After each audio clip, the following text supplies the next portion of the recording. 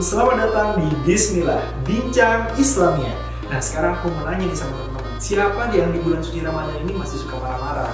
Aduh, jangan dong Karena di bulan puasa Ramadan ini bukan hanya sekedar menahan haus dan lapar Nah, di saat orang berpuasa kita juga dituntut untuk menahan hawa nafsu dari godaan setan, termasuk emosi dan amarah loh. Jadi di sini aku bakal ngasih tahu nih tips and trick untuk menahan amarah di bulan suci Ramadan. Nah, udah pada penasaran kan? Jadi tanpa berlama-lama, langsung aja simak penjelasannya.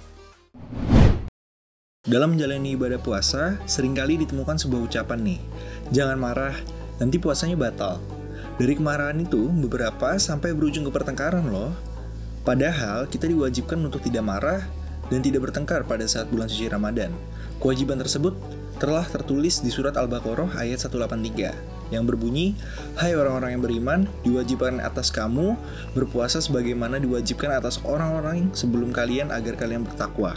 Memang sangat sulit rasanya untuk menahan rasa marah, apalagi di bulan suci Ramadan. Selain dapat mengurangi pahala puasa kita, rasa emosi atau marah yang berlebih juga bahkan dapat membatalkan puasa kita loh.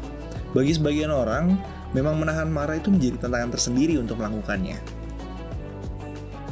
Cara mengatasi emosi selama bulan suci Ramadan itu ada berbagai cara loh. Yang pertama, adalah dengan mengarahkan rasa marah pada hal yang lebih produktif.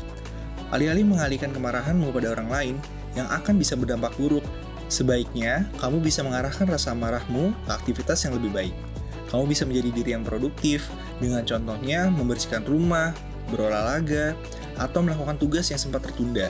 Dengan begitu, kamu bisa menyalurkan emosimu sambil melakukan hal yang lebih produktif. Cara mengatasi emosi yang kedua adalah dengan terus bersabar dan fokus pada ibadah. Jika kamu saat berpuasa sedang berada di posisi yang sulit, yang pada akhirnya kamu terpancing untuk marah, cobalah untuk bersabar. Munculkan berbagai pikiran positif yang bisa membantumu meredakan sedikit rasa marahmu. Cara mengatasi emosi yang ketiga adalah dengan memperhatikan sumber dari emosi tersebut. Akar dari rasa amarahmu akan bisa berasal dari faktor internal maupun eksternal. Faktor internal ini bisa berupa kegagalan yang dirasakan, perasaan ketidakadilan, dan rasa frustasi. Sedangkan faktor eksternal biasanya dapat disebabkan oleh perasaan kehilangan, ejekan, atau penghinaan. Secara tidak sadar, akan sangat mudah bagimu untuk marah pada orang lain sebagai bentuk penyaluran emosi.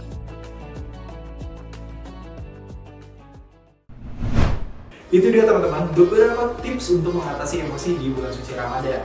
Semoga kita menjadi orang yang sabar dan bisa menahan diri di bulan suci Ramadan ini. Karena bulan Ramadan adalah sekolah kita untuk lebih baik lagi. Sampai jumpa teman-teman, semoga video ini bermanfaat. Jangan lupa untuk komen, subscribe, dan share video ini ke teman-teman semuanya. Wassalamualaikum, see you!